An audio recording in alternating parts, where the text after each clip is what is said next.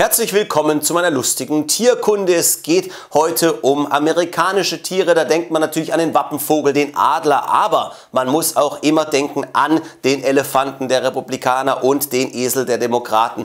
Um den ging es in den letzten Tagen in Philadelphia beim Parteitag. Wir schauen ein wenig hinter die Tiere, hinter den Parteitag auf das Wirtschaftsprogramm von Hillary Clinton, auf das Wirtschaftsprogramm allgemein der Demokraten, denn die Chance ist ja recht groß, dass Hillary Clinton das Zepter übernimmt nächstes Jahr von Barack Obama. Und dann muss man mal sehen, was bedeutet das wirtschaftlich, was bedeutet das finanziell für die USA und ein Stück weit natürlich auch für den Rest der Welt. Donald Trump, wir erinnern uns, hat ein relativ einfaches Wirtschaftskonzept. Er sagt, wie das bei den Republikanern immer der Fall ist, Steuern runter. Das klingt natürlich ganz toll. Wer möchte das nicht? Aber realistisch ist das nicht. Ganz anders klingt das Programm der Demokraten. Hillary Clinton sagt ganz klar, Steuern rauf und zwar für die Besserverdienenden und für die Unternehmen. Autsch, das könnte natürlich auf den ersten Blick Wählerstimmen kosten.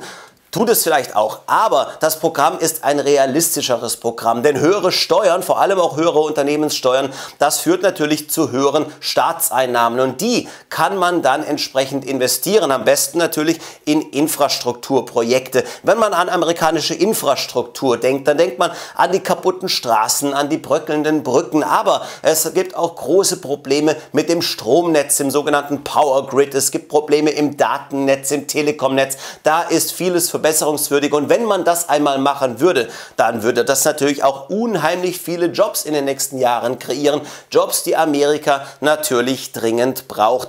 Es gibt noch andere Möglichkeiten, Jobs zu kreieren. Auch da sind eigentlich die Demokraten ganz gut dabei. Und zwar denken sie auch verstärkt an alternative Energien, Solar, Windkraft. Da kann man aber nur richtig stark wachsen mit Subventionen aus Washington. Die sind in den letzten Jahren ja immer am äh, Protest der Republikaner äh, gescheitert. Sie wären aber dringend notwendig. Witzig ist ja übrigens, dass die Republikaner Subventionen in anderen Bereichen, etwa bei der Mineralölindustrie, jedes Jahr immer durchwinken, obwohl sie da gar nicht mehr nötig wären.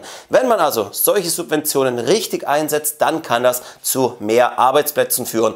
Mehr Arbeitsplätze, das ist eine Sache, besser bezahlte Arbeitsplätze, das ist aber die andere Sache. Der Mindestlohn in Amerika beträgt nur knapp über 7 Dollar. Er soll angehoben werden auf mindestens 10 Dollar. Es waren noch schon höhere Beträge im Gespräch, 12 Dollar, 15 Dollar. Und dass diese Initiative nach einer Anhebung der Mindestlöhne im Parteiprogramm ist, das hat man nicht einmal Hillary Clinton zu verdanken, sondern Bernie Sanders. Er kandidiert jetzt selbst nicht mehr, hat aber das Parteiprogramm der Demokraten deutlich beeinflusst. Und nur um das noch einmal klarzustellen, äh, Bernie Sanders ist kein Sozialist, wie das immer wieder dargestellt wird, sondern er ist ein klassischer Sozialdemokrat. Äh, seine politischen Maßnahmen, seine politischen Ideen haben nichts mit Ostblock zu tun, sondern reflektieren eigentlich alles, was man hier in Europa, etwa in Deutschland aus der Wirtschaftspolitik äh, gewöhnt ist. Wir haben also zwei Konzepte. Die Republikaner sagen Steuern runter und äh, sie sagen, wir wollen den Unternehmen helfen. Dann wird das schon auch irgendwie sich auf die Arbeitnehmer auswirken. Trickle down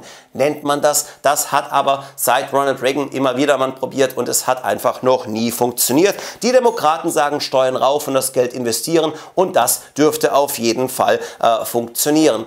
Bleiben wir bei Steuern. Es soll unter Hillary Clinton möglicherweise noch eine andere Steuer geben, die deutlich angehoben wird, die Finanztransaktionssteuer. Das geht natürlich dann äh, direkt an die Wall Street, das geht direkt an die Spekulanten. Es sollen viele Steuern angehoben werden im Bereich der Spekulation und auch das ist natürlich eine gute Initiative. Hier will man einfach dafür sorgen, äh, dass Hedgefondsmanager letztlich nicht weniger Steuerlast tragen als die einfachen Arbeiter.